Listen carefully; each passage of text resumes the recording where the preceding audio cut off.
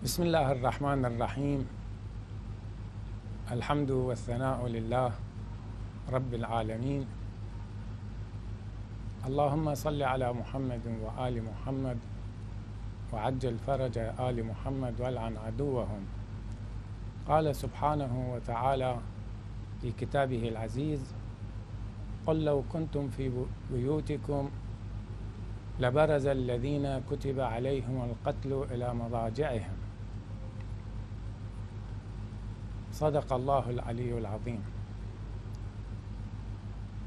من الآداب الخاصة بسيد الشهداء صلوات الله وسلامه عليه وعلى آله الطيبين الطاهرين هو اختيار الموت والمصرع والزمان والمكان.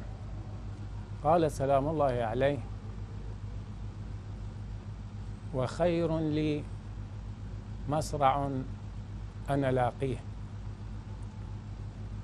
وتقرأ وخير لي مسرع أنا لاقيه. وبالقراءتين هناك معاني كثيرة مجملها أن الإقدام على القتل خير من أن القتل يتوجه للشخص. أي الوقوع على الموت خير من أن يقع الموت على الشخص. قال سبحانه وتعالى قل لن ينفعكم الفرار إن فررتم من الموت أو القتل. وإذا لا تمتعون إلا قليلا. وهذا الإقدام إقدام الشجعان على اختيار الموت واختيار نوع الموت والأرض التي يقتل فيها بل واختيار قتلته أن يكونوا من ألأم خلق الله. كما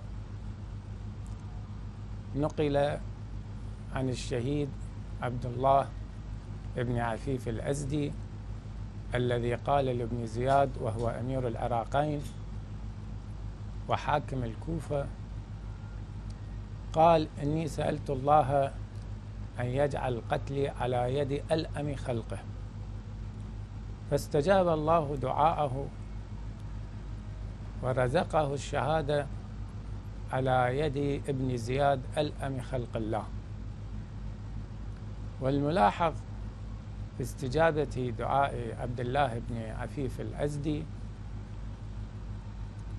أنه اشترك مع الحسين سلام الله عليه بأن يكون قتله على يد ألأم خلق الله. فقاتل الحسين عليه السلام هو نفسه قاتل عبد الله ابن عفيف الأزدي في موضوع يطول بيانه مما حصل في الكوفة بعد دخول أهل البيت سلام الله عليهم سبايا والرؤوس مقطعة أمام المحامل. وهذا الأمر حصل في باحة مسجد الكوفة. وكانت بعدها معركة مختصرة قتل فيها جمع كثير من الطرفين. ثم أخذ عبد الله بن عفيف الأزدي وهو بصير لا يرى. وقتلوه وصلبوه.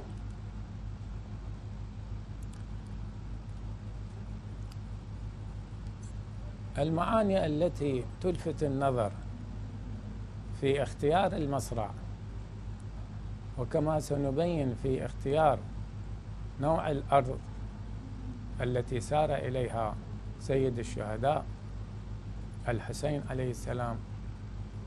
فيه معاني كثيرة ولكن نجملها في نقاط. الأولى أن من يقدم على القتل بعد معرفته بنوع القتل والقتل يعني أنه على بصيرة من أمره. ولا يكون في أمره شك ولا ريب ولا شبهة ولا تردد ولا إحجام. فالذي يمضي إلى الموت يكون على بصيرة من أمره. وهذا بيان إصلاحي وفيه مواعظ لمن يريد أن يكون الحسين له أسوة. بأن يكونوا على بصيرة من أمرهم مؤمنين بالله موقنين بلقائه في اليوم الآخر. هذا يجعل الشجاع أكثر شجاعة ويجعله أسوة لمن يقتدي به. الأمر الثاني بيان أن العدو على باطل صريح لا غبار عليه أيضا بلا شك ولا شبهة ولا ريب لأن كون العدو على شيء من الحق يضعف بصيرة المقدم الشجاع. ولكن إذا محض العدو بالنفاق والكفر والزندقة والباطل صار الشجاع المقدام الذي هو مع الحق هو وأتباعه وأنصاره وأهل بيته أكثر مضيا وأشد ثباتا في مقابلة العدو. وستأتينا صور مدهشة وعجيبة في طريقة مقاتلة العدو. بحيث كان المؤمن في معسكر الحسين عليه السلام يبالغ في الاستبسال والإقدام. ذلك لمعرفته أنه على الحق الصريح الذي وعد به الله سبحانه وتعالى والملائكة والرسل والأنبياء والصديقين وسيدهم محمد صلى الله عليه وآله وكذلك الصديقة الكبرى فاطمة صلوات الله وسلامه عليها وأمير المؤمنين علي صلوات الله وسلامه عليه والإمام الحسن والحسين عليه السلام بأنهم سيقفون الموقف الخالد الذي يكون أسوة لكل الفضيلة والفضلاء في العالم أجمع. وأعداؤهم سيكونون مثال سيء لجميع السيئين ولجميع معاني الرذيلة. الأمر الثالث أن اختيار المصارع للشجعان الاحرار الماضين على بصيرة من أمرهم يخيف العدو أيما إخافه ويوهن كيده وعزمه وقواه إلى أقصى درجات الوهن. وهذا أمر مطلوب في القتال أن الذي يقدم يزيد المؤمنين شجاعة وإصرارا ويزيد العدو خوفا وجبنا.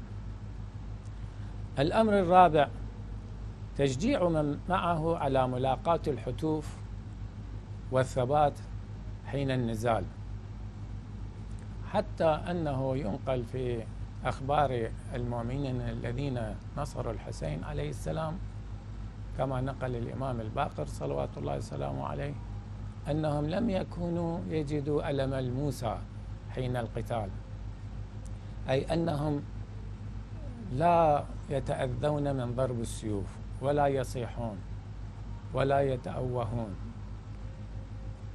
وذلك لأنهم يجدون هذا القتال وهذا الجهاد وهذا الألم وهذه الجروح وطعن الرماح وضرب السيوف ووقع النابل والسهام ألذ من العسل على أنفسهم في نصرة ابن رسول الله الحسين صلوات الله وسلامه عليه. وهناك كما قدمت لكم صورا كثيرة تثبت ذلك بل إن المسألة خاضعة للنظر العلمي بمعنى أن من أحب شيء هام به وذهل عن غيره بحيث كأنه لا يكون الغير عنده أبدا. طيبا كان أو مزعجا. لأنه الهيام بالمحبوب يشغل الحواس جميعا. وهذه لها تجارب علمية معروفة بأنه التفرغ للمحبوب والتفرغ مثلا لله سبحانه وتعالى في مسألة التوحيد يغطي على الإحساس الآخر لنفس الإنسان فيما يتعلق بالأمور الأخرى. الأمر الخامس من هذا الاختيار هو سن الإقدام للمؤمنين. الأحرار. حتى تكون أسوة لهم وإنما دائما نعني بالإقدام هو على اختيار الموت بشرائطه. الإقدام خصوصا حين الالتحام في أول لحظات الالتحام وتقديم القرابين والثبات حين النزال يعطي زخما هائلا للمقاتلين. فيكون سنة حسنة سنها أبو عبد الله عليه السلام. ويذكر في مثل هذه المواقف أن أمير المؤمنين علي عليه السلام يوم الجمل أعطى الراية لولده محمد المعروف بابن الحنفية ولكن محمد تأخر قليلا ريثما يهدأ رشق النبل والسهام ولكن أمير المؤمنين صلوات الله وسلامه عليه لم يرضى بهذا التأخر ولو القليل. فخاف على أن يؤثر ذلك في معسكره وجنده فأقبل عليه وأخذ الراية منه وقال له بأن يتقدم بعدما هو تقدم بنفسه صلوات الله وسلامه عليه. فغاص في معسكر الجمل إلى آخره ورجع من آخره إلى أوله ثم أعطاه الراية وقال له أطعن طعن أبيك تحمدي لا خير في الحرب إذا لم توقدي بالمشرفي والقنا المسدد. لهذا هذه السنة اختيار المصرع وساعة المصرع ومكان المصرع الذي سنأتي على تفاصيله فيما بعد يشير إلى موضوع شديد الأهمية عند سيد الشهداء وهو أنه لم يفر من القتل أبدا. وهذا الأمر نجده بوضوح وبصراحة لا لبس فيها أنه حينما خوفه الحر من الموت والقتل والهلاك في موضوع مفصل قال له الحسين عليه السلام متمثلا بأشعار تنسب لأخي الأوس حينما خاطب ابن عمه وهو يتوجه لنصرة رسول الله محمد صلى الله عليه وآله فأعاد تلك الأبيات على مسامع الحر بن يزيد الرياحي الذي صادفه في الطريق وأراد منعه من دخول الكوفة. قال سأمضي وما بالموت عار على الفتى. إذا ما نوى حقا وجاهد مسلما وواسى الرجال الصالحين بنفسه وفارق خوفا أن يعيش ويرغم. فإن عشت لم أندم وإن مت لم ألم. كفى بك ذلا أن تعيش وترغم. بمعنى أنه لو نجحنا في المواجهة فلا نندم على ما واجهنا به وقدمنا من تضحيات. وإن استشهدنا فلا أحد يلومنا على أننا قاومنا الظالمين المتجبرين العتاد الفاسقين الخارجين عن الدين. وهناك شواهد كثيرة في عاشوراء تبين بوضوح إقدام الإمام على اختيار مصرعه مع أن الفرار ممكن. الإمام الحسين كان بإمكانه أن يفر ولكنه ابن أمير المؤمنين علي بن أبي طالب صلوات الله وسلامه عليه الذي قال وطبق ما قال الحياة في موتكم قاهرين والموت في حياتكم مقهورين. الإنسان إذا عاش ذليلا فهو ميتا ولكن إذا استشهد عزيزا فهو حي. والدليل اليوم بعد شهادة الحسين سلام الله عليه. وهذه المئات من السنين نرى الحسين واقفا حيا يعيش في الضمائر والأماكن والمناسبات. لا ينسى أبدا في كل يوم وفي كل ساعة وفي كل الأرض من شرقها إلى غربها ومن شمالها إلى جنوبها. لذلك كان يردد على مسامع القتلة والأعداء ويقول لا والله لا أعطيكم بيدي إعطاء الذليل ولا أفر فرار العبيد.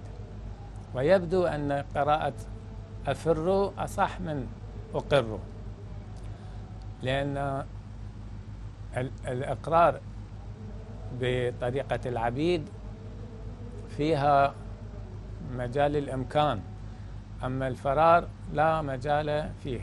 لا أفر فرار العبيد. والشواهد على أنك أنه كان بإمكان سيد الشهداء الفرار يوم عاشوراء ما حصل مع نافع بن هلال الذي قال له الحسين سلام الله عليه بعدما تبعه ليلة عاشوراء قال له انظر إلى ما بين هذين الجبلين ويقصد بالجبلين التلال العالية لأنه ليس في كربلاء جبال إنما هي هضاب وتلال عالية لا زالت بعض آثارها موجودة إلى اليوم. قال إنهم لم يجعلوا مرصدا في هذا المكان أي أنهم لم لم يجعلوا عينا أو لم يجعلوا مرصدا فبإمكانك أن تسلك بين هذين الجبلين وتفر بنفسك. هذا يدل على أن الحسين عليه السلام أعرف بطرق الفرار. فكيف وإلا كيف يدل نافع بن هلال الجملي على الطريق للهرب. بمعنى أنه كان يعلم بهذا الطريق. فإذا لما لم يفر؟ الجواب أنه لا يفر. قوله عليه السلام لا أفر فرار العبيد. هذا من الأدب الخاص بسيد الشهداء إذ أنه أقبل على الموت في رباطة جيش على التفصيل الذي يخرج بنا عن الموضوع لو فصلناه. ممكن مراجعة مظان الكتب المعنية بذلك أن الحسين عليه السلام كان يمشي إلى مصرعه مختارا وذلك لإحياء الدين والإصلاح في أمة سيد المرسلين محمد صلى الله عليه وآله وصلى الله على محمد وآله الطيبين الطاهرين.